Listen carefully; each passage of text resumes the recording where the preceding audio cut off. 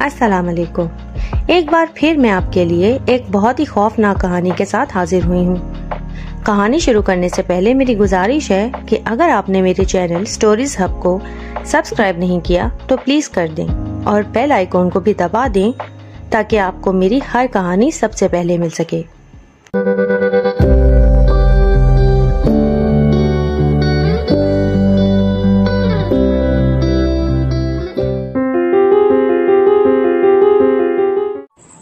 मिस्र में एक नेक दिल शहजादा हुकूमत करता था। वो था शहजादा, मगर ना तो उसमें शाहों वाला गरूर था और ना ही वो जाहो जलाल। वो आम इंसानों की तरह ज़िंदगी बसर करता और रुकी सुखी खाकर गुजारा करता था। ज़्यादातर वक्त अपनी रियाया की खिदमत और खुदा की याद में बसर करता था। इसकी नेक चलने का पूरी रियासत में चर्चा था। इसे ये खसूसियात अपने रहम दिल बाप से विरासत में मिली थी। एक दिन शहजादा मामूल के मुताबिक रियाया के मसाइल सुनने के बाद जंगल में दुनिया से बेनियाज खुदा की याद में मसरूफ था कि उसने देखा कि एक गरीब लकड़हारा अपने गधे को साथ लिए हुए लकड़ियाँ काट रहा है और उससे बातें भी किए जा रहा है। हालाँकि उसे मालूम था कि गधा ना तो उसकी बात सुन रहा है और ना ही समझ रहा है। फिर भी वो मुसलसल बातें किए जा रहा था। और अचानक उसने जारो कतार रोना शुरू कर दिया। शहजादा ये देखकर बहुत हैरान हुआ कि लकड़हारा रोज़ाना लकड़ियाँ काटता, गधे से चंद बातें करता और फिर फूट फूट कर रोने लगता है। चंद रोज यही मामला चलते रहे। मगर जब रहमदिल शहजादे से उसका रोना देखा ना गया और वो ये मामला सुलझाने में नाकाम रहा तो उसने फैसला किया कि क्यों ना लकड़हारे से खुद ही पूछ लिया जाए। कि आखिरकार क्या माजरा है? तो शहजादा लकड़हारे के पास गया और पूछा ए लकड़हारे, तेरे इस तरह बिलक बिलक कर रोने की क्या वजह है? लकड़हारा शहजादे को देखकर और भी शिद्दत से रोने लगा और बोला कि मैं आपको अपनी बर्बादी की कहानी नहीं सुना सकता। आप भले इंसान लगते हो। शहजादा कहता है, आप डरे नहीं। मैं भी आपकी तरह एक आम इंसान हूँ।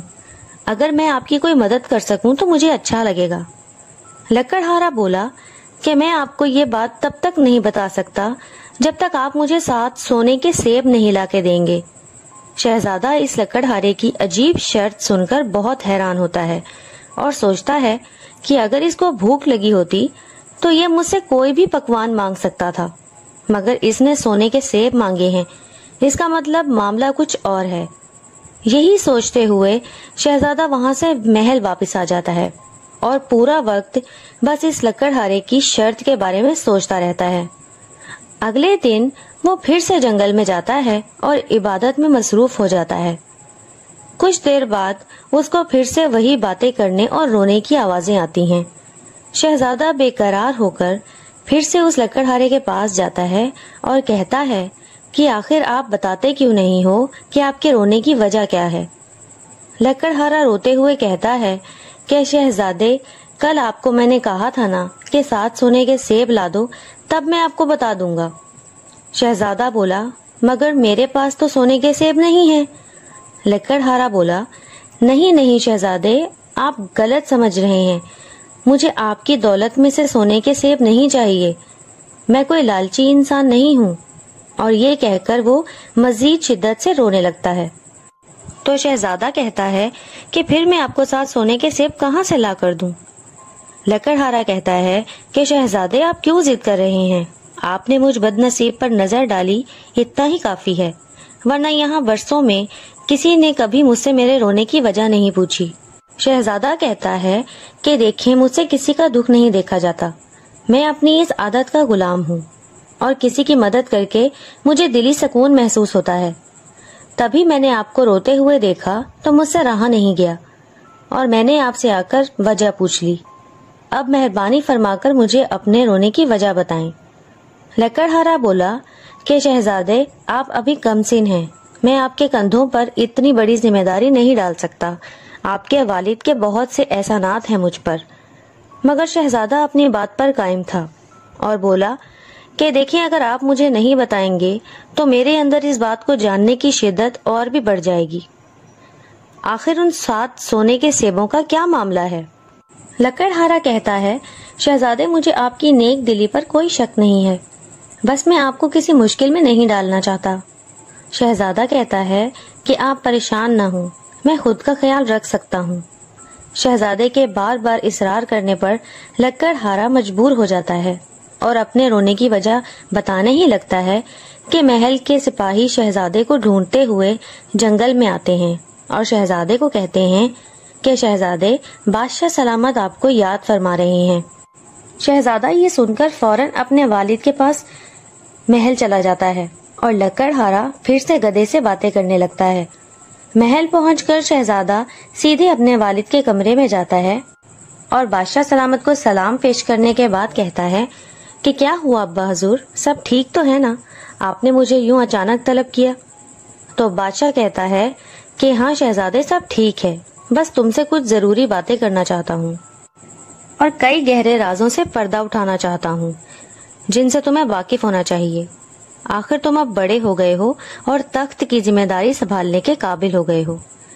फिर बादशाह बोला, जब मैं तुम्हारी उम्र का था, मेरा एक दोस्त हुआ करता था। वो बहुत गरीब था। उसका नाम जलाल था। उसको जादूगर बनने का बहुत शौक था। वो भी कोई आम जादू नहीं, बुरी ताकतों को अपना गुलाम बनाने वाला जादू। और मैं उसको हमेशा समझाया करता था कि इन फजूल बातों से दूर रहे। और वो मुझे कहता था कि देखना, एक दिन मैं तुमसे भी ज़्यादा अमीर बन के दिखाऊँगा। उसकी इस बात को सुनकर मैं हमेशा यही कहा करता था कि पैसा तो आनी जानी चीज़ है, इसके पीछे नहीं भागना चाहिए। क्योंकि ये भी आपके लिए एक आजमाइश होती है। और वो तंजिया हँसी उड़ाता और कहता, सोने के चम्मच मुँह में लेकर पैदा होने वालों को क्या मालूम कि गुर्बत क्या चीज़ होती है? और उठकर घर चला जाया करता था। रोज़ाना इसी तरह की बातें होती थी। वो अपनी ख्वाहिश ज़ाहिर करता और मैं उसके जहन को बदलने की कोशिश में लग जाता, जो कि मैं जानता था कि नामुमकिन है। एक दिन हम दोनों जंगल में से गुजर रहे थे तो हमें एक सुनहरी चिड़िया नज़र आई। हम दोनों उसके पीछे भागने लगे। वो चिड़िया एक गार के पास जाकर रुक गई। हमने उस गार को पहले वहाँ कभी नहीं देखा था। मुझे इस जगह को देखकर बहुत अजीब सी घबराहट होने लगी और मैं बेहोश हो गया। जब मुझे होश आया तो मैं अपने बिस्तर पर था। उठते ही मुझे उस गार का ख्याल आया और मैं सोचने लगा कि मैं यहाँ कैसे आ गया। फिर सोचा कि जलाल मुझे यहाँ ले आया होगा। मैं कल जलाल से उस गार के बारे में पूछूँगा। अगले दिन जब मैं जलाल से मिला तो वो कुछ अजीब सा लग रहा था। मानो जैसे उसे कोई खास चीज़ मिल गई हो। मेरी नज़र उसके हाथ पर पड़ी तो उसने एक बहुत महँगी सोने की अंगूठी पहनी हुई थी। मैंने पूछा, जलाल, ये अंगूठी तुम्हारे पास कहाँ से आई? जलाल बड़े गरूर से बोला कि बस देखते जाओ आगे आगे मेरे पास भी हर चीज़ होगी। और ये भी हो सकता है कि मैं इस मुल्क का बादशाह बन जाऊँ और कहका लगाकर हंसने लगता है। मैंने भी मज़ाक में बोला कि हाँ हाँ तुम ज़रूर तरक्की करोगे, मगर अगर मेहनत करोगे तो। ये सुनकर वो बोला कि मेरे हाथ मेहनत करने के लिए नहीं बने, जादू करने के लिए बने हैं। उसकी बात सुनकर मैंने अपने माथे पर हाथ रखकर कहा, न जाने इसका जादूगर बनने का भूत कब उतरेगा। उसकी बात से मुझे वो सुनहरी चिड़िया याद आ गई। तो मैंने जलाल से पूछा कि कल रात जंगल को वो चिड़िया और गार, क्या तुम्हें उसके बारे में कुछ पता चला? क्योंकि मुझे तो वहाँ जाकर बहुत घबराहट हो रही थी। हम दोनों वहाँ गार के सामने खड़े थे, उसके बाद मुझे कुछ याद नहीं। तो जलाल बोला, याद इसलिए नहीं क्योंकि तुम बेहोश हो गए थे, और मैं तुम्हें महल छोड़कर अपने गरीब खाने में चला गया था और सो गया था। तो मैं बोला कि ठीक है, हम दोनों आज शाम फिर से वहाँ जाएँगे और इस गार और परिंदे का पता लगाएँगे। मेरे अब्बा हजूर को भी इस गार और परिंदे के बारे में मालूम होना चाहिए। ये सुनकर जलाल बोला कि नहीं, तुम बादशाह को इस गार के बारे में मत बताना। पहले हम खुद चल के देखेंगे कि इस गार में आखिर है क्या। मैंने भी उसकी बात मान ली और शाम को हम दोनों फिर से उस जंगल में गए और गार वाली जगह पर पहुँचे। मगर वहाँ कोई गार नहीं थी। बस जंगल ही जंगल था। मैं सोच में पड़ गया कि आखिर वो गार कहाँ गई, जबकि जलाल बहुत मुतमिन था। ऐसे लग रहा था जैसे ये मुझे गलत रास्ते पर ले आया हो। जलाल मुसलसल दूसरी तरफ़ किसी को इशारे कर रहा था। मेरी नज़र जब वहाँ पड़ी तो मुझे वही सुनहरी परिंदा नज़र आया, जो मुझे शायद कुछ कहना चाहता था, और जलाल उसको मुझसे छुपने के इशारे कर रहा था। मैं फ़ौरन उस सुनहरी चिड़िया के पास गया तो वो उड़ने लगी। हमने भी कल रात की तरह उसका पीछा करना शुरू कर दिया, और वो हमें उस गार के पास ले गई। जलाल को बहुत गुस्सा आ रहा था। मैं जलाल को बोला तो मुझे गलत जगह क्यों लेकर गए थे? जलाल बोला, कि मैं नहीं चाहता था कि तुम इस जगह को दोबारा देखो और बादशाह को इसके बारे में आगाह करो, इसलिए मैंने वो सब किया। तो मैं बोला, इसका मतलब तुम इस गार के अंदर भी जा चुके हो। तो जलाल बात को गोल मोल करके घुमा देता है। इतने में सुनहरी चिड़िया गार का दरवाज़ा खोलती है। जैसे ही हम दोनों गार के अंदर दाखिल होते हैं, हम किसी और ही दुनिया में पहुँच जाते हैं, जो इस दुनिया से एकदम अलग लग रही थी। मगर वहाँ कुछ भी असली नहीं लग रहा था। सब कुछ जादुई था। जलाल तो बहुत खुश था और यहाँ वहाँ भाग रहा था, जबकि मुझे वो सब ठीक नहीं लग रहा था। मुझे फ़िक्र हो रही थी कि हम वापस कैसे जाएँगे, क्योंकि गार का दरवाज़ा और वो चिड़िया दोनों गायब हो गए थे। मैंने जलाल को आवाज़ दी और कहा कि तुम यहाँ ऐसे खुश हो रहे हो जैसे भूल ही गए हो कि हमारी अपनी भी एक दुनिया है, जो इस गार के बाहर है, एक असली दुनिया। बताओ यहाँ से बाहर कैसे निकलेंगे? गार और चिड़िया तो गायब हो गए। जलाल बोला, ये कौन सी बड़ी बात है? और अपनी अंगूठी को रगड़ता है। और गार का दरवाज़ा खुल जाता है। मुझे अपनी आँखों पर यकीन नहीं आ रहा था। मैंने जलाल को गुस्से में कहा कि इसका मतलब तुम यहाँ पहले आ चुके हो। जलाल घबरा गया और बोला हाँ मैं उस रात गार के अंदर आया था और मेरी मुलाकात इस गार के मालिक यानी जादूगर से भी हुई। उसने मुझे ये अंगूठी दी और बोला, तुम मुझे बहुत पसंद आए हो। जब चाहो यहाँ आ सकते हो। मगर उसने मुझे ये भी कहा कि यहाँ से बिना इजाज़त कोई चीज़ बाहर मत लेकर जाना, वरना जल जाओगे। जलाल की बातें सुनकर मैं डर गया और फ़ौरन गार के दरवाजे की तरफ़ भागने लगा।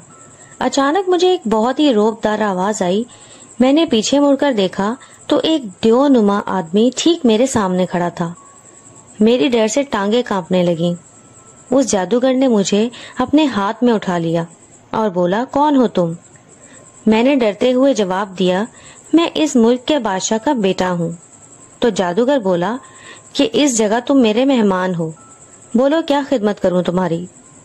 मैं बोला, कुछ नहीं, बस आप मुझे घर वापस जाने दें। जलाल बोलता है कि, ए जादूगर, मुझे अपनी शागिर्दी में ले लें। मैं भी आपकी तरह एक बड़ा जादूगर बनना चाहता हूँ। तो जादूगर बोला कि, मेरे जैसा जादूगर बनने के लिए तुम्हें बहुत कुछ खोना पड़ेगा। क्या तुम तैयार हो? जलाल चूँकि अकेला ही रहता था, उसके वालिदैन वफात पा चुके थे तो उसके पास खोने को कुछ नहीं था, सिवाय मेरे। तो जलाल ने कहा हाँ उस्ताद जी, मैं तैयार हूँ। उसके बाद जादूगर जलाल को अपने खास कमरे में ले गया और मैं घर वापस आ गया। काफ़ी दिन तक मेरा जलाल से कोई रबता नहीं हुआ, और ना ही वो मुझे कहीं नज़र आया। फिर मुझे अपने वालिद के साथ दो महीने के लिए दूसरे मुल्क जाना पड़ा। बादशाह तो वापस आ गए, मगर मुझे तलवारबाजी सीखने के लिए वहीं रुकना पड़ा। जब मैं वापस आया तो आते ही मैंने अपने मुलाजमीन से जलाल के बारे में पूछा कि क्या मेरी गैर हाजिरी में जलाल मुझसे मिलने आया था? तो सब मुलाजमीन ने एक ही जवाब दिया कि ना ही तो जलाल महल में आया और ना ही हमें कहीं और नज़र आया। न जाने कहाँ गायब हो गया है। अब मेरी परेशानी और भी बढ़ गई थी। तो मैंने जंगल जाने का फैसला किया। और शाम को मैं जंगल के लिए निकल पड़ा और सुनहरी चिड़िया का पीछा करते हुए मैं गार के दरवाजे पर पहुँच गया। मगर मेरी अंदर जाने की हिम्मत नहीं हो रही थी। फिर अपने डर पर काबू पाते हुए मैंने खुद से कहा कि अब तुम एक तलवारबाज हो, तुम्हें किसी से नहीं डरना चाहिए। यही सोचते हुए मैं गार के अंदर चला गया। मेरे वहाँ अंदर जाते ही मेरे इस्तकबाल के लिए लाल कालीन बिछाया गया। ताजे और ठंडे मशरूबात मेरी खिदमत में पेश किए गए और हवा में एक पुरसकून साज बजाया गया, जिससे मेरा दिमाग माउफ हो गया और मुझे ऐसा लगा जैसे मैं जन्नत में चला गया हूँ। कुछ देर बाद जलाल मेरे सामने आया। वो हूबहू जादूगर जैसा लग रहा था। मैंने जलाल से कहा कि इसका मतलब तुम जादूगर बन चुके हो। और जादू करना सीख गए हो। तो जादूगर हंसने लगा और बोला, मैं जलाल नहीं हूँ। ये तो बस तुम्हारी आँखों का धोखा है। दरअसल मैं जलाल को रूप बदलने वाला जादू सिखा रहा था। मगर इसके लिए वो जादू जरा मुश्किल हो रहा है। क्योंकि ये एक निकम्मा, डरपोक बुजदिल और नालायक इंसान है। जाओ, इसको अपने साथ ले जाओ। मैंने पूछा, क्यों? इसके लिए ये जादू करना इतना मुश्किल क्यों है? इसमें ऐसा क्या है जिसके लिए वो तैयार नहीं? जादूगर बोला, मैंने इसको पहले ही कहा था कि जादू सीखने के लिए इसको बहुत सी चीज़ों की कुर्बानी देनी होगी और इसने कबूल भी किया था। इसलिए अगर अब ये पीछे हटता है तो कभी पहले वाली ज़िंदगी नहीं जी सकेगा। इतने में जलाल के चीखने की आवाज़ आती है और वो किसी को कह रहा होता है कि, नहीं, मुझे यहाँ से बाहर मत निकालो। मैं जादू सीखने के लिए कुछ भी करूँगा। और अपने हाथों से अपनी उल्टी आँख निकालना शुरू कर देता है। उसको ऐसा करता देखकर मैं बहुत डर गया। मैंने फ़ौरन जादूगर से कहा कि इसको रोको, ऐसे तो ये खुद को चोट पहुँचा रहा है। जादूगर बोला, आँख इंसान के जिस्म का सबसे ताकतवर हिस्सा है। जहाँ कोई नहीं जा सकता, वहाँ आँख जा सकती है। किसी को भी देखकर उसका रूप ले सकती है। ये कहकर वो मुझे अपनी आँख दिखाता है। मैंने कहा, इसका मतलब रूप बदलने के लिए इसको अपनी आँख निकालनी होगी। जादूगर बोला, सिर्फ़ निकालनी नहीं, बल्कि खानी भी होगी। जैसे ही ये आँख को खाएगा, इसके जिसम में कुछ तब्दीलियाँ आना शुरू हो जाएँगी, और ये थोड़ा बेरहम भी हो जाएगा। इस ताकत को संभालना हर किसी के बस की बात नहीं। ये सुनकर मैं फ़ौरन जलाल को रोकने के लिए भागा, मगर देर हो गई थी। उसने अपनी आँख निकाल ली थी, और अब वो उसको खाने वाला था। मैंने जलाल को कहा, तुमने सुना ना कि जादूगर ने क्या कहा? अगर तुमने इसको खाया तो तुम बदल जाओगे। चलो मेरे साथ यहाँ से, और छोड़ दो जादूगर बनने की जिद। मगर जलाल बोला, अब जो होना था हो गया, अब मैं पीछे नहीं हट सकता। और फ़ौरन आँख को मुँह में डालकर खा जाता है। जैसे ही उसने आँख मुँह में डाली, जादूगर ने कुछ मंत्र पढ़ने शुरू कर दिए और जलाल मेरे रूप में बदल गया और उसका वजूद बहुत ही ज़्यादा ताकतवर हो गया। मैंने हिम्मत करके फ़ौरन जलाल के हाथ पर पहनी अंगूठी को रगड़ा और गार के दरवाजे की तरफ़ भागने लगा। मगर जादूगर ने अपने जादू से मेरे पाँव को ज़मीन पर जमा दिया और बोला कि शहजादे, तुम इतना क्यों डरते हो? किस बात का खौफ है तुम्हें? तुम्हें पता है, तुम जैसे डरपोक लोगों से ही मेरी ताकत बढ़ती है, और हाथ के इशारे से एक अलग दरवाज़ा खोलता है, जिसमें बहुत सारे इंसानों की लाशें पड़ी होती हैं, और इन लाशों के चेहरों से उनका मरने से पहले वाला खौफ साफ़ दिख रहा था। मैंने हिम्मत करके जादूगर को कहा कि मैं तुमसे नहीं डरता।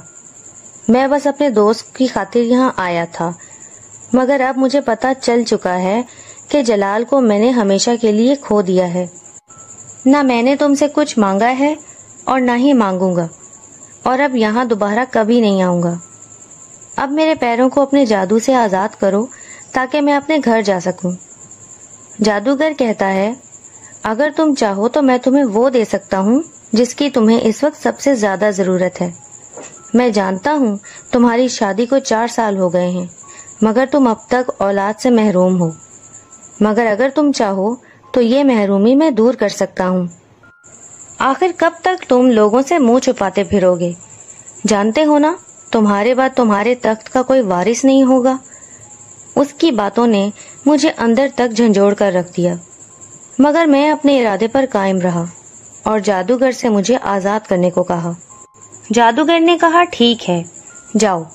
मगर मेरी बात पर गौर करना। तुम जब चाहो यहाँ आ सकते हो। उसके बाद मैं महल वापस आ गया और बार बार जादूगर की बातें मेरे दिमाग में घूम रही थी। मगर मैं उसे मुसलसल नजरअंदाज कर रहा था। दो दिन बाद हमारे महल में शाही दावत का एहतमाम किया गया और उसमें मुख्तलिफ़ ममालिक के बादशाहों ने बमा अहलो अयाल शिरकत की। दरअसल मेरे चचा के यहाँ पहले बेटे की विलादत की खुशी में ये दावत दी गई थी। हर किसी ने अपनी अहलिया और बच्चों समेत शिरकत की, जबकि मैं और रुकैया अकेले खड़े थे। और सबको खुश देखकर हमें अपनी औलाद की कमी बहुत ज़्यादा महसूस हो रही थी। बहुत इलाज करवाया, मनते मुरादे मांगी, मगर औलाद ना हुई। दावत में हर किसी ने रुकैया और मुझे औलाद की दुआएँ दी मगर हम दोनों ही मजबूर थे और अब थक चुके थे। हमें दुआओं से ज़्यादा किसी मुआवजे का इंतज़ार था। फिर उस रात दावत खत्म होने के बाद जब सब मेहमान वापस चले गए तो मैंने रुकैया को इस जादूगर के बारे में बताया। तो उसने मुझसे कहा कि हमने हर तरकीब आजमा कर देख ली, इलाज भी करवाया और दुआओं का भी हम पर कुछ असर नहीं हो रहा। मुझे लगता है कि ये जादूगर हमारे लिए वसीला औलाद बनकर आया है। आपको उस जादूगर के पास जाकर उससे औलाद के लिए बात करनी चाहिए। मगर मैंने रुकैया को कहा कि वो जादूगर बहुत जालिम है। अगर उसने मुझसे बदले में कुछ ऐसा मांग लिया जो मैं ना दे सका तो मैं क्या करूँगा? रुकैया बोली कि आपके पास बेशुमार दौलत है। आप उस जादूगर को जो चाहें वो इनाम में दे सकते हैं। मैं रुकैया की बात से सहमत हो गया। और अब बहुत सोचने के बाद मैंने एक बार फिर से जंगल जाने का फैसला किया और गार में दाखिल हो गया। जादूगर मुझे देखते ही बोला कि आओ, मैं जानता था तुम ज़रूर आओगे। मेरे दिमाग में उस वक्त बस औलाद की चाहत सवार थी। इसलिए मैंने बिना वक्त जाया किए जादूगर से कहा कि मुझे औलाद चाहिए। मैं अब मजीद इस तरह नहीं रह सकता। मेरी अहलिया भी इसके लिए रजामंद है। ये सुनकर जादूगर अपने खास कमरे में चला गया और मैं यहाँ वहाँ देखने लगा, क्योंकि मैं नहीं चाहता था कि ये बात जलाल को पता लगे। मगर जलाल मुझे कहीं नज़र नहीं आ रहा था। मुझे लगा ज़रूर किसी जादू के अमल में मसरूफ होगा। मैं अभी ये सोच ही रहा था कि जादूगर सात सोने के सेब लेकर आया और मुझे बोला कि ये सात सेब रोज़ाना एक अपनी बीवी को खिलाना। मैंने जादूगर को कहा कि ये सेब तो सोने के हैं। इसको कोई भला कैसे खा सकता है? तो जादूगर बोला, कि जैसे ही तुम्हारी बीवी इनको छुएगी, ये असली सेब में बदल जाएँगे। मगर एक चीज़ का ख्याल रखना, ये अमल रोज़ाना दोपहर दो बजे करना होगा, वरना इसका असर नहीं होगा। जब सात दिन पूरे हो जाएँगे, तब अपनी बीवी के जिस्म से खून की चंद बूंदे और थोड़े से बाल ले आना और फिर कमाल देखना। मैं चूँकि होश में नहीं था तो बादशाह की तमाम बातें मानकर उन सोने के सेबों को लेकर महल आ गया। जब मैं रुकैया के पास गया तो वो बोली, अरे, आप इतनी जल्दी आ गए? अभी पाँच मिनट पहले तो खाना खाकर आप बादशाह के हमरा रवाना हुए थे। मैं बोला कि नहीं, मैं तो जादूगर के पास गया था और अभी लौटा हूँ। रुकैया जादूगर का नाम सुनकर कहने लगी कि बताइए, उसने क्या कहा? क्या वो हमें औलाद दे सकता है? मैं गहरी सोच में था, क्योंकि जानता था कि मेरे से पहले यहाँ ज़रूर जलाल मेरा रूप लेकर आया होगा। मुझे बहुत गुस्सा आ रहा था। उसी वक्त रुकैया ने मुझे हिलाया और कहा कि कहाँ खो गए आप? बताइए ना जादूगर ने क्या कहा। तो मैंने रुकैया को जादूगर की तमाम बातें बता दी और सोने के सेब भी उसके हवाले कर दिए। वो बहुत खुश हुई और सेब लेकर कमरे में चली गई। अगले दिन रुकैया ने पहला सेब खा लिया और वो पूरा दिन सोई रही। मैंने सोचा शायद थकावट की वजह से सो रही है। फिर अगले दिन उसने दूसरा सेब खाया। तो कुछ देर बाद उसके सर में शदीद दर्द उठा, जो बर्दाश्त के बाहर था। मगर कुछ घंटों के बाद अचानक खुद ही दर्द ठीक हो गया। इसी तरह तीसरा दिन आया और रुकैया ने बिना कुछ सोचे तीसरा सेब भी खा लिया। और मामूल के मुताबिक आराम करने अपने कमरे में चली गई। कुछ देर ही गुजरी थी कि एक मुलाजमा भागती हुई मेरे पास आई और बोली कि शहजादी साहिबा के जिस्म पर बहुत ही अजीब से निशानात उभर रहे हैं? और ऐसा लग रहा है जैसे उनके जिस्म में कोई चीज़ रेंग रही है। मैं फ़ौरन उसके पास कमरे में भागा तो रुकैया चाकू लेकर अपने बाजू को काट रही थी और उसके हाथ खून से भरे हुए थे। मैंने रुकैया को ज़ोर से हिलाया और बोला, होश में आ जाओ। ये क्या कर रही हो? तो रुकैया बोली कि ये कीड़े मुझे कहीं चैन नहीं लेने दे रहे।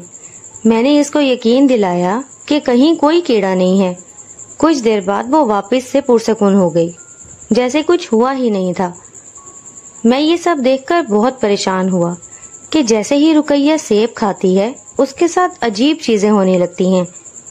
मैंने जादूगर के पास जाकर इस बारे में बात करने का फैसला किया, मगर रुकैया ने मुझे अपने पास से जाने ही नहीं दिया। अब अगला दिन आया। आज सेब खाने का चौथा दिन था। मैंने सोचा, अगर आज कुछ हुआ तो रुकैया को ही जादूगर के पास ले जाऊँगा। मगर चौथा सेब खाने के बाद पूरा दिन रुकैया बिल्कुल खुश और तंदुरुस्त रही।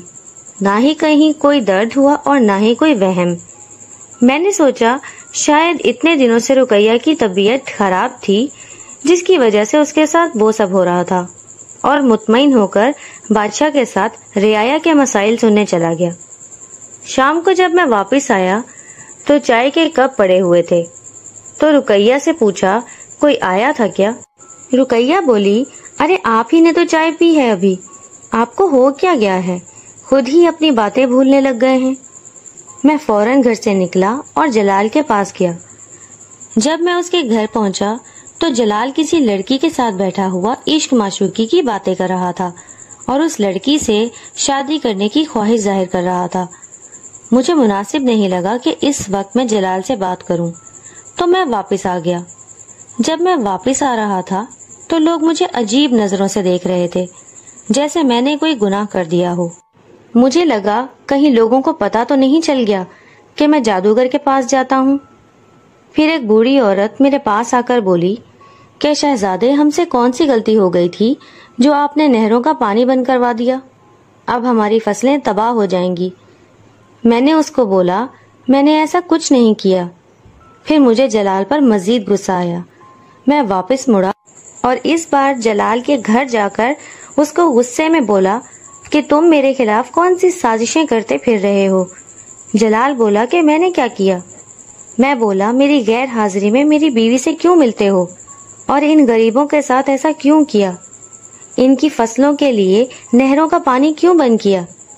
जलाल कहका लगाता है और कहता है, मैं तो शरारत कर रहा था। देखना चाहता था कि तुम्हारा रूप लेकर मैं क्या क्या कर सकता हूँ। जलाल का चेहरा देखकर मुझे एहसास हो गया था कि इसके इरादे ठीक नहीं हैं। फिर मैं महल वापस आ गया। महल पहुँचा तो बादशाह सलामत भी शदीद गुस्से में थे और मुझे फ़ौरन हुक्म दिया कि नहरों का पानी बहाल करवाओ। अब मैं बादशाह को भला क्या कहता? फ़ौरन हाँ में सर हिलाया और लोगों से अपनी ना करदा गलती की माफ़ी भी मांगी। वो दिन बहुत बुरा था। खैर, फिर पांचवा दिन आ गया और रुकैया ने पांचवा सेब भी खा लिया। और मुझे बोली, शायद आज का दिन पुरसगुन गुजर जाए और जल्दी से ये सात दिन पूरे हो जाएँ। मुझसे अब मजीद इंतज़ार नहीं होता। उसकी बात सुनकर मैंने भी कहा हाँ वो दिन बस करीब ही है। फिर अचानक रुकैया बेहोश हो गई और उसको तेज बुखार हो गया, जो उतरने का नाम ही नहीं ले रहा था। मैं फ़ौरन जादूगर के पास गया और उसको कहा उन सेबों में ऐसा क्या है कि जब भी मेरी बीवी उनको खाती है बीमार हो जाती है। जादूगर बोला कुछ पाने के लिए कुछ खोना पड़ता है। वो इन सेबों के मौकिलात हैं और अपना हिस्सा लेने आते हैं।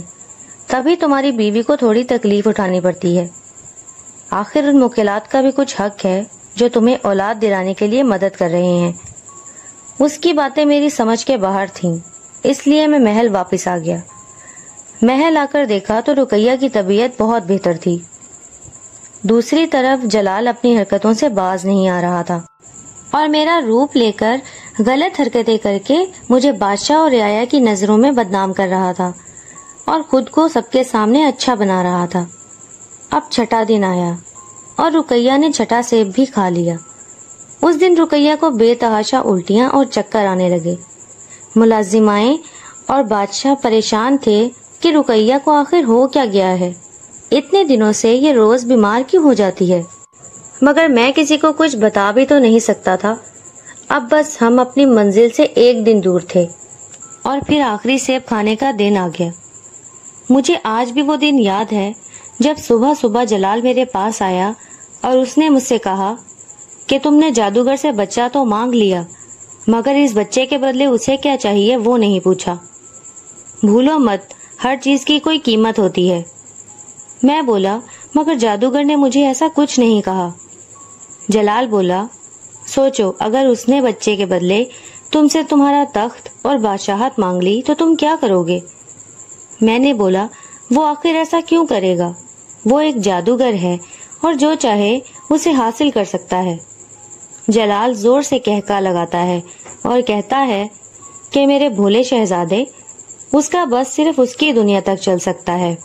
इस दुनिया को उससे भी बड़ी ताकत चला रही है, और वो उसका मुकाबला नहीं कर सकता। इसलिए वो हम जैसे भोले भाले लोगों को फंसा कर अपनी ताकत बढ़ा रहा है और फौज बना रहा है। तुमने देखा नहीं, उसने हमारे कितने लोगों की जान ली है? मैंने जलाल को कहा, आखिर तुम कहना क्या चाहते हो?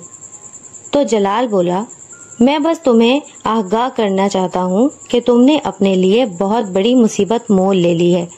आखिर तुम मेरे दोस्त हो, इसलिए मैं तुम्हें आने वाले खतरों से आगाह करने आया हूँ। और वहाँ से जाने लगता है। तो मैंने उससे पूछा, कुछ दिन पहले मैंने तुम्हें किसी औरत के साथ देखा था। आखिर वो तुम्हारी क्या लगती है? तो जलाल ने बताया कि वो मेरी बीवी है। ये सुनकर मैंने उसको शादी की मुबारकबाद दी। और कहा कि अब ये जादू वादू छोड़कर एक आम इंसान की तरह मेहनत करके ज़िंदगी गुजारो। तो वो तंजिया मुस्कुराकर चला गया। उसकी इस मुस्कुराहट में मुझे आने वाले खतरे के आसार साफ़ दिख रहे थे। खैर, रुकैया ने आखिरी सेब भी खा लिया और ये सेब पिछले तमाम सेबों से ज़्यादा तकलीफ़ दे निकला। रुकैया के जिसम में न जाने कितनी मखलूक दाखिल हो गईं और उसके जिसम को नोचने लगी। रुकैया किसी जानवर की तरह चिल्ला रही थी। मुसलसल दो घंटे ये अमल जारी रहा और फिर एकदम खामोशी छा गई और रुकैया ठीक हो गई। और ऐसे वो सात दिन पूरे हो गए। मेरे दिमाग में जलाल की बातें घूम रही थी। मैं सोच रहा था कि आखिर वो किस खतरे की बात कर रहा था।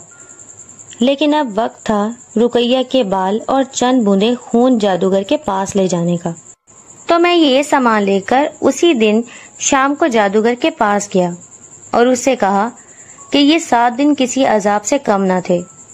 मेरी बीवी ने बहुत तकलीफ़ काटी है। जादूगर बोला, ऐसा तो होता है फिर ऐसे कामों में। और हँसते हुए कहता है, लाओ ये सामान मुझे दे दो। और फिर वो वापस अपने खास कमरे में चला जाता है। मैं जादूगर के इंतज़ार में उसके महल में घूमने लगा। तो मुझे एक ही तरह के साठ डब्बे अलग अलग जगह रखे नज़र आए। मैंने इन डब्बों को खोलना चाहा, मगर वो डब्बे बंद थे और उनकी चाबियाँ कहीं नज़र नहीं आ रही थी। मैंने सोचा कि जादूगर को भला किस बात का खतरा है जो इन डब्बों पर ताला लगाकर खास जगह पर रखा हुआ है। मैंने सोचा, क्यों न जलाल को इस काम पर लगाया जाए, कि वो पता लगाए कि इन डब्बों की चाबियाँ कहाँ हैं। मैं अभी सोच ही रहा था कि जादूगर ने मुझे आवाज़ लगाई और बोला, तुम मेरी इजाज़त के बिना मेरे महल में नहीं घूम सकते। उसकी आँखें गुस्से से एकदम लाल हो गई थी। मेरा शक यकीन में बदल गया कि ज़रूर इन डब्बों में कोई खास चीज़ है जो जादूगर ने इनको अलग अलग जगह पर महफूज करके रखा है। मैंने जादूगर को बोला, ठीक है, आइंदा ऐसी गलती नहीं करूँगा। इसके बाद जादूगर ने मुझे एक कपड़ा दिया और कहा कि रात को ये कपड़ा अपनी बीवी के बिस्तर के नीचे रख देना और उसे दोबारा मत देखना। जब तुम्हारी बीवी सुबह उठेगी तो उसको कहना कि वो अपने हाथों से इस कपड़े को हटाए। अगर इस कपड़े के नीचे लाल गुलाब निकले तो समझ लेना बेटी होगी। और अगर सफ़ेद गुलाब निकले तो बेटा होगा। और अगर कुछ ना निकले तो समझ लेना तुम्हारी बीवी ने अमल ठीक से नहीं किया। और ये पागल भी हो सकती है। ये सुनकर मैं बहुत घबरा गया। मगर अब जो भी होता, हम उसके लिए तैयार थे। खैर, मैं महल वापस आ गया और रुकैया को कपड़ा देकर सब समझा दिया। अगले दिन सुबह जब रुकैया ने वो कपड़ा हटाया तो उसके नीचे से सफ़ेद गुलाब निकला और हमें बेटे की खुशखबरी मिली। हम दोनों खुशी से फूले नहीं समा रहे थे। मैं अपनी खुशी में ये भी भूल गया था कि इस खुशी के बदले कौन सा खतरा मेरा इंतज़ार कर रहा है। फिर मैं जादूगर के पास गया और उसको भी खुशखबरी दी। तो जादूगर बोला, सिर्फ़ खुशखबरी से काम नहीं चलेगा। तो मैं बोला हाँ हाँ आप बोलिए आपको क्या चाहिए, मगर कुछ ऐसा मांगना जो मैं आपको दे सकूँ। तो जादूगर बोला, कि तुम मुझे क्या दे सकते हो? मैं बोला, कि मेरे पास बेशुमार दौलत है, मैं अपनी आधी दौलत आपको दे सकता हूँ। तो जादूगर हंसने लगा और बोला कि तुम्हें क्या लगता है कि मेरे लिए यह दौलत हासिल करना मुश्किल है? और फिर उन मुर्दों में से उसने एक मुर्दे को आवाज़ दी तो वो लाश उठकर चलने लगी। उसने किसी कागज़ पर कुछ लिखकर उस लाश के मुँह के अंदर रख दिया और वो लाश गायब हो गई। थोड़ी देर बाद वो लाश ढेर सारा सोना लेकर वहाँ वापस आई। तो जादूगर बोला, कि देखो अपनी आँखों से कि मैं जितनी चाहूँ, उतनी दौलत हासिल कर सकता हूँ। तो मैंने जादूगर को बोला, फिर आपको क्या चाहिए? जादूगर बोला, मैं इस पूरी दुनिया पर हुकूमत करना चाहता हूँ।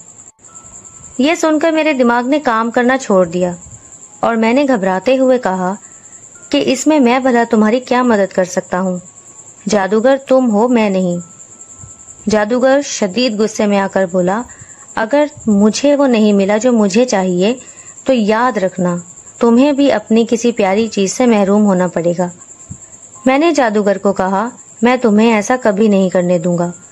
तुम एक जालिम जादूगर हो। और अगर मैंने हुकूमत तुम्हारे हाथों में दे दी तो वो दिन दूर नहीं, जब यहाँ इंसानों की जगह मुर्दे घूमते नज़र आएँगे। जादूगर ने फ़ौरन जलाल को आवाज़ दी और जलाल फ़ौरन हाजिर हो गया। जादूगर ने कहा कि इसको कैद खाने में डाल दो और इसका रूप लेकर तुम इसकी जगह महल में जाओ और मेरे काम को अंजाम दो। जलाल ने फ़ौरन उसकी बात मानकर मुझे कैद कर दिया। मैंने जलाल को बहुत होश में लाने की कोशिश की, मगर उसने मेरी एक न सुनी और बोला, मैंने अपनी दोस्ती का फ़र्ज़ निभाया था और तुम्हें आगाह किया था कि इस जादूगर की नीयत तुम्हारे तख्त पर खराब है। मगर तुम औलाद की खातिर सब कुछ लुटाने के लिए तैयार थे तो अब पड़े रहो यहाँ कैद में। मैं बहुत रोया और चिल्लाया कि मुझे यहाँ से जाने दो। मेरी बीवी को इस वक्त मेरी ज़रूरत है। मुझे इस खुशी से महरूम मत करो। तो जलाल मेरे करीब आया और मेरे कान में बोला, मैं रात को आऊँगा। और चला गया। मैं बहुत बेचैनी से रात का इंतज़ार करने लगा और फिर किसी के आने की आहट हुई। मैंने बाहर देखा तो जलाल बाहर खड़ा था और एक कागज़ पर कुछ लिख रहा था। उसके बाद अपने मुँह पर उंगली रखकर इशारे से मुझे चुप रहने को कहा और मेरे करीब आकर मेरे हाथ में वो कागज़ थमा दिया और एक कलम भी दे दी और बोला, मेरे जाने के बाद इसको अच्छे से पढ़ना, मगर ध्यान रखना, ये कागज़ जादूगर के हाथ ना लगे, वरना हम दोनों को मार देगा। मैंने उसके जाने के बाद उस कागज़ को खोला तो उसमें इस जादूगर के महल के तमाम राज लिखे हुए थे। और इसमें इन डब्बों का भी ज़िक्र था, जो मैंने यहाँ देखे थे। जलाल ने मुझे बोला कि मैं यहाँ से वो डब्बे लेकर भाग जाऊँ। मगर जलाल पर भरोसा करना मेरे लिए थोड़ा मुश्किल था। मैं यही सोच रहा था कि भला वो मेरी मदद क्यों कर रहा है, जबकि मैंने हमेशा उसको ये सब छोड़ने को कहा है। खैर, मैंने कागज़ पर जवाबन लिखा कि क्या तुम इन साठ डब्बों की चाबियाँ ढूंढ सकते हो? मुझे लगता है कि ये साठ डब्बे जादूगर के लिए बहुत खास हैं। और जैसे ही जलाल दोबारा मेरे पास आया तो मैंने उसको कागज़ पकड़ा दिया और उसने फ़ौरन कागज़ खोलकर मेरा जवाब पढ़ा और अपना जवाब लिखना शुरू कर दिया और मुझे कागज़ देकर चला गया। मैंने जब कागज़ खोला तो इस पर लिखा था कि इन साठ डब्बों में क्या है, ये तो मैं नहीं जानता। मगर इन डब्बों की सात चाबियाँ हैं, जो इसने अपने जिस्म के अंदर छुपा रखी हैं। ये सुनकर मैंने सोचा कि अब तो मैं यहाँ से कभी आज़ाद नहीं हो पाऊँगा। मेरे अंदर इतनी ताकत नहीं कि मैं इस जादूगर का मुकाबला कर सकूँ।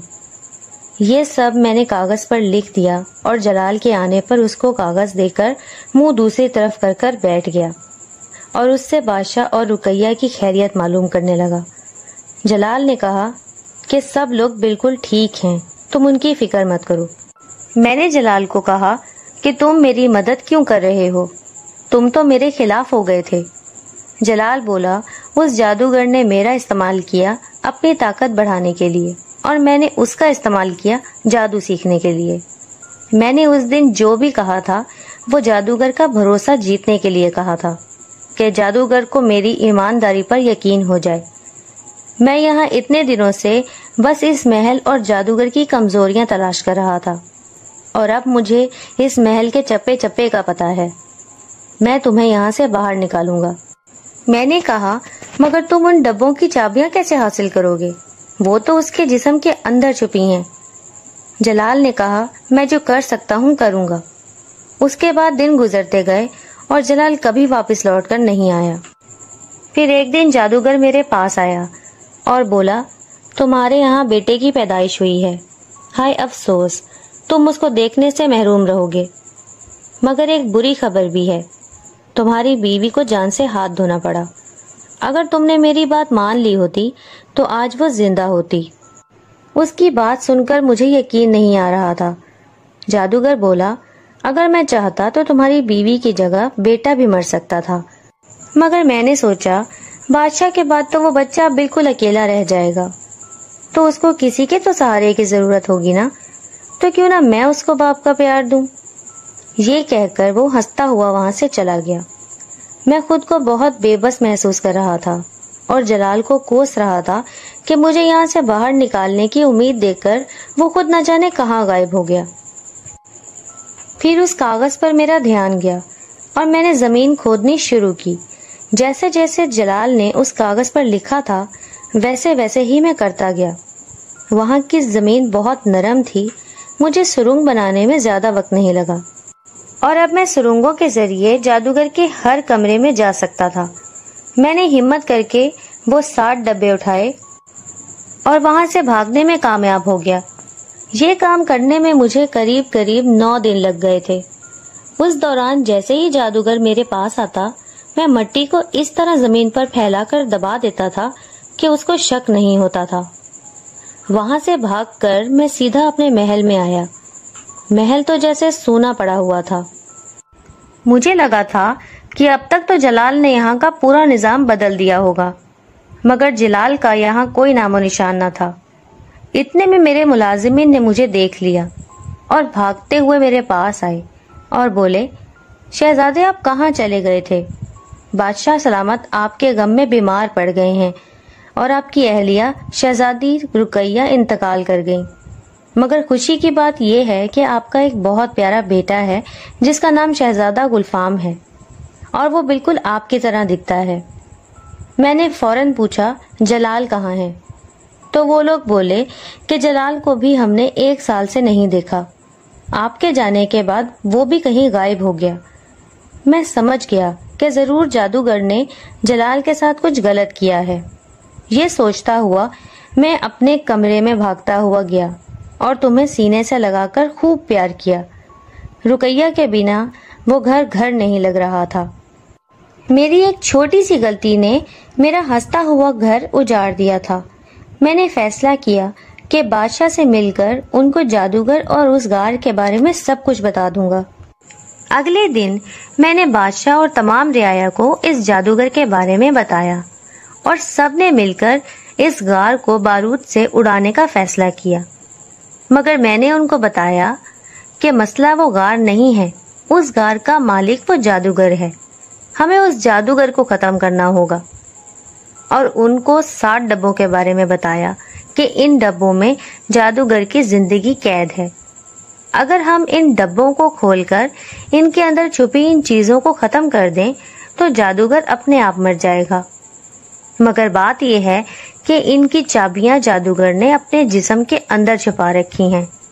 और इन चाबियों को निकालने के लिए हमें किसी अल्लाह वाले नेक बुज़ुर्ग से रबता करना होगा। उसके बाद दूसरे ममालिक के बादशाहों से इस बारे में बात की गई और मुख्तलिफ़ मुल्कों से कई कामिल बुज़ुर्गों को यहाँ बुलाया गया और इन बुज़ुर्गों को साथ लेकर हम उस गार में गए। गार में दाखिल होते ही जादूगर ने हम पर अपनी फौज से हमला किया, मगर अल्लाह की ताकत के आगे किसी की नहीं चलती। उन बुज़ुर्गों ने बुलंद आवाज़ में कलाम पढ़ना शुरू कर दिया और सबके सब मुर्दे मट्टी का ढेर बनकर नीचे गिरने लगे। अब बादशाह अकेला रह गया था और वक्त था इससे उन डब्बों की हकीकत मालूम करने का। तो मैंने मौका देखकर वो सात डब्बे उसके सामने ज़ाहिर किए। उन डब्बों को देखकर जादूगर का चेहरा फीका पड़ गया और वो मिनते करने लगा कि खुदा के वास्ते ये डब्बे मुझे वापस कर दो। बदले में तुम जो कहोगे मैं वही करूँगा, मगर मुझे इस पर यकीन नहीं था। मैंने इसको कहा कि आखिर इन डब्बों में ऐसा क्या है जो तुम इतनी मिनते कर रहे हो और सब छोड़कर जाने की बातें कर रहे हो?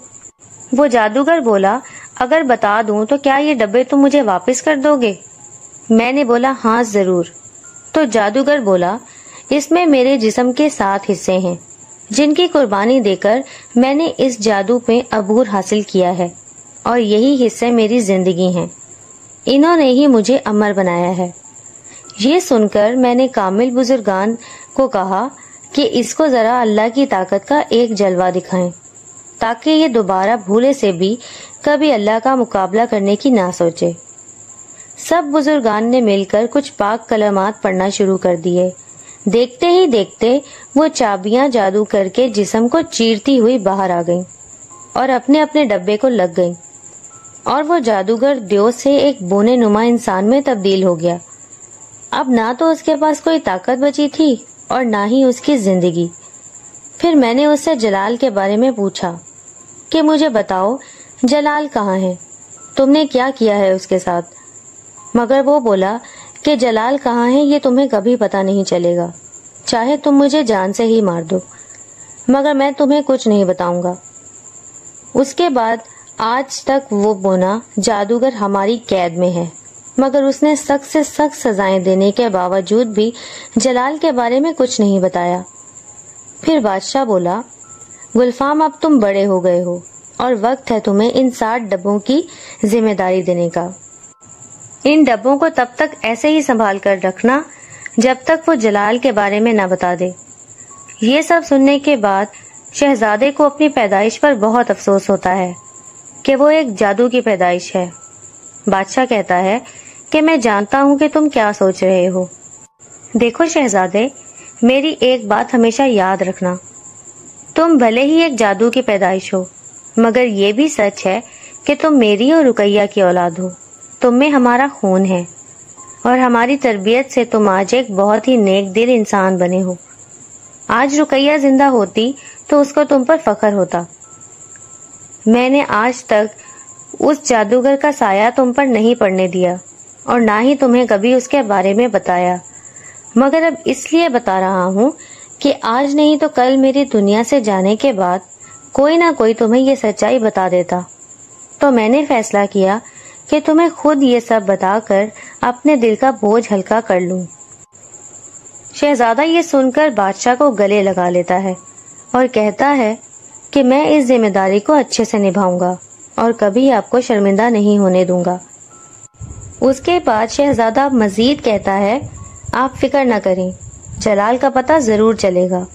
और रुखसत लेकर सीधा जंगल में उस लकड़हारे के पास आता है। मगर वो लकड़हारा वहाँ नहीं होता। हाँ उसका गधा वहीं बंधा होता है। शहजादा सोचता है कि शायद लकड़हारा किसी काम से गया होगा। थोड़ी देर रुककर उसका इंतज़ार कर लेता हूँ। वरना वो अपने गधे को यूँ अकेला बांधकर क्यों जाता? मगर काफ़ी देर तक इंतज़ार करने के बाद भी लकड़हारा नहीं आया। तो शहजादा भी महल वापस आकर आराम करने चला गया। अगले दिन सुबह शहजादा फिर से जंगल गया। तो लकड़हारा मामूल के मुताबिक लकड़ियाँ काट रहा था। शहजादे ने उसके पास जाकर पूछा कि, जनाब, आप कल रात अपने गधे को यही बांधकर कहाँ चले गए थे? लकड़हारे ने जवाब दिया कि मेरी तबीयत कुछ ठीक नहीं थी, इसलिए मैं अपने झोंपड़े में आराम कर रहा था। शहजादे को उसका जवाब कुछ अजीब लगता है, मगर वो बहस किए बिना लकड़हारे को कहता है कि मैं उन सात सोने के सेबों का राज जानने आया हूँ। लकड़हारा बड़े ही इतमान से जवाब देता है कि हाँ जानता हूँ, तुम बहुत जिद्दी हो। तुम बिना जाने नहीं जाओगे। चलो यहाँ बैठ जाओ। दरअसल कई साल पहले की बात है। तब तुम करीब एक साल के थे। ये कहानी है मेरे दामाद जलाल की, जो उसने मुझे अपनी जबानी सुनाई थी। उसको जादूगर बनने का बहुत शौक था। एक दिन उसको जंगल में एक जादुई गार मिली। वो उस गार के अंदर चला गया। तो वहाँ उसको एक देवनुमा जादूगर मिला। और उस जादूगर ने उसको कहा कि तुम बहुत खास हो। मुझे तुम्हारे चेहरे में साफ़ साफ़ दिख रहा है कि आने वाले वक्त में तुम बहुत बड़े जादूगर बनोगे। और उसको एक सोने की अंगूठी देता है और कहता है, इस अंगूठी को तुम जब भी रगड़ोगे, तुम्हारे सामने गार ज़ाहिर हो जाएगी और तुम आसानी से मेरे पास आ जाओगे। ये उसकी गार में पहली रात थी, जिसके बारे में उसने मेरे अलावा किसी को नहीं बताया था। उसके बाद जादूगर ने इसे एक बहुत बड़ा जादूगर बना दिया। मगर जादूगर बनने के लिए इसने अपने जिस्म के सात हिस्सों की कुर्बानी दी और इन हिस्सों को सात सोने के सेबों में रखकर कहीं छुपा दिया। शहजादा कहता है कि क्या आप जानते हैं कि जलाल जी का एक बहुत गहरा दोस्त भी था, जो इस पूरे वाक्य में जलाल जी के साथ था। जैसे जलाल जी ने कुर्बानी दी, वैसे ही उन्होंने भी दी। और मैं उन्हीं का बेटा हूँ। लकड़हारा बोला हाँ मुझे जलाल ने अपने एक दोस्त का बताया तो था, मगर मैं नहीं जानता था कि वो बादशाह सलामत की बात कर रहा था। शहजादा बोला कि जलाल जी ने आपको पूरी बात नहीं बताई, और फिर पूरी बात उसको बता देता है। पूरी कहानी सुनने के बाद लकड़हारा बहुत रोता है, और शहजादे को कहता है कि तुम्हारे वालिद ने तो जलाल से भी ज़्यादा बर्दाश्त किया है। शहजादा कहता है हाँ बुरा वक्त था, गुजर गया। मगर मुझे ये समझ नहीं आ रही कि आप सोने के सेब क्यों ढूंढ रहे हैं? लकड़हारा कहता है कि जब जलाल ने मेरी बेटी से शादी की थी तो शादी के छह महीने बाद ही वो अचानक गायब हो गया था। तो मैं उसको ढूँढने निकला और जंगल चला गया। मुझे लगा कि शायद जलाल फिर से जादूगर के पास चला गया होगा। जब मैं वहाँ पहुँचा तो मुझे वहाँ एक सुनहरी चिड़िया मिली और उसके मुँह में एक कागज़ था। उस कागज़ पर लिखा था, अगर जलाल को वापस चाहते हो तो सात सोने के सेब ढूंढो। और पास में ये गधा खड़ा था। मैं वो कागज़ लेकर वापस आ गया। तो ये गधा भी मेरे पीछे पीछे आ गया। जब हम घर पहुँचे तो इस गधे के मुँह में भी यह कागज़ था। और ये बार बार अपने सर को हिलाकर इशारा कर रहा था कि ये कागज़ लो और पढ़ो। मैंने जब कागज़ खोला तो इस पर लिखा था, मैं जलाल हूँ, मेरी मदद करो, मुझे गधे से इंसान बना दो। तब से लेकर आज तक मैं इन सेबों को ढूँढने रोज़ाना रात को जंगल जाता हूँ, मगर अब तो वहाँ सुनहरी चिड़िया भी नज़र नहीं आती। शहजादा गधे की तरफ़ देखता है और उससे कहता है कि क्या आप जलाल साहब हैं? तो गधा हाँ में सर हिलाता है और रोने लगता है। शहजादा बोला कि अब आपकी यह सजा जल्द खत्म होने वाली है। मैं आपको वापस से इंसान बनाऊँगा और उसके लिए आपको सोने के सेबों की कोई ज़रूरत नहीं है। ये बस उस जादूगर की एक चाल थी। उसके बाद शहजादा सीधे महल में वापस आता है और बादशाह के पास जाकर उनको तमाम हकीकत बताता है। बादशाह को ये सुनकर गहरा सदमा लगता है कि उनका दोस्त 22 सालों से गधे की ज़िंदगी गुजार रहा है। उसके जादूगर बनने के जनून ने उसको इतनी बड़ी सजा दी। शहजादा कहता है कि अब्बा जान, कल मैं जो करने वाला हूँ, उससे आने वाले वक्त के भी तमाम जादूगर सुनकर काँप जाएँगे और अपना इरादा बदल देंगे। अगले दिन शहजादा सुबह वो साठ डब्बे और उनकी चाबियाँ लेकर जिंदान पहुँचता है। और तमाम रियाया को एक जगह जमा होने का हुक्म देता है। जब सब लोग वहाँ जमा हो जाते हैं और लक्कड़हारा भी गधे के साथ आ जाता है तो शहजादा जादूगर होने के चेहरे से कपड़ा हटाता है और कहता है कि देख, ये सब तेरी इबरतनाक मौत देखने आए हैं। बोना हंसता है और कहता है, मुझे मौत नहीं आ सकती। मैं अमर हूँ। ये बात सुनकर शहजादा वो साठ डब्बे उसके सामने लाता है। जिन पर चाबियाँ भी लगी होती हैं। शहजादा कहता है, मुझे तो नहीं लगता। जादूगर कहता है कि अगर मुझे मार दिया तो जलाल भी हमेशा के लिए खो जाएगा। मगर अगर मुझे ज़िंदा रखते हो तो शायद मैं जलाल का पता बता भी दूँ। शहजादा उसी वक्त गधे को सामने लाता है और कहता है कि क्या तुम इनकी बात कर रहे हो? तो जान लो, हमें तुमसे जानने की ज़रूरत नहीं। अब तुम हमारे किसी काम के नहीं रहे। गधे को ये देखकर बहुत गुस्सा आता है और वो दंग रह जाता है और कहता है कि तुम्हें ये कहाँ से मिल गया? ये नामुमकिन है। फिर कहता है कि अगर तुम मुझे बख्श दो तो मैं इसको वापस इंसान बना सकता हूँ। वरना अगर मुझे मार दिया तो ये हमेशा के लिए गधा बन जाएगा और एक गधे की मौत मरेगा और हंसने लगता है। ये सुनकर शहजादा सारे डब्बों को खोलता है और आग लगा देता है। बोना रोता है, मिनते करता है कि नहीं, ऐसा मत करो, मैं माफ़ी माँगता हूँ कि अब ऐसा कोई काम नहीं करूँगा। मगर शहजादा उसकी एक नहीं सुनता और कहता है कि अगर पहले ही जलाल जी का पता बता दिया होता तो शायद मैं इस बारे में सोचता। मगर तूने जलाल की ज़िंदगी के 22 साल उससे छीने हैं। तुझे तो इबरतनाक मौत मिलनी चाहिए। और कहता है कि मेरी मासूम माँ को मुझे गोद में उठाकर खिलाने का मौका भी नहीं दिया तूने। जैसे ही डब्बों को आग लगती है, वैसे ही जादूगर भी जलकर राख हो जाता है। और उसी वक्त जलाल जी गधे से इंसान बन जाते हैं। बादशाह सलामत जलाल को गले से लगा लेते हैं और कहते हैं कि तुम गधे कैसे बन गए थे? मैं वहाँ तुम्हारा इंतज़ार करता रहा। जलाल बोला, कि मैं जैसे ही तुम्हारे से मिलकर बाहर आया तो जादूगर बोला कि आज तुम्हारा इम्तिहान लेने को दिल कर रहा है, और उसने मुझे मेरी अंगूठी में देखने को कहा। मैंने जैसे ही अंगूठी में देखा तो उसमें मेरी और तुम्हारी सब बातें सुनाई दे रही थी। जादूगर बोला, कि बोलो क्या सजा दूँ, मार दूँ या छोड़ दूँ? मैंने भी उससे ज़िंदगी की भीख नहीं मांगी तो उसने मुझे गधे में बदल दिया और बोला, अब बाकी की तमाम ज़िंदगी गधे बनकर लोगों के बोझ उठाना। तब तुम्हें अकल आएगी। और मुझे गार के बाहर फेंक दिया। बाहर सुनहरी चिड़िया को मुझ पर रहम आ गया तो उसने एक कागज़ पर मेरा नाम और पहचान लिखकर मेरे मुँह में पकड़ा दिया। और फिर बाबा जान वहाँ मुझे ढूंढते हुए आए। और बाकी तुम सबको पता है। उसके बाद सब लोग महल में वापस आ गए और जलाल के वापस लौटने की खुशी में जश्न का एहतमाम किया गया।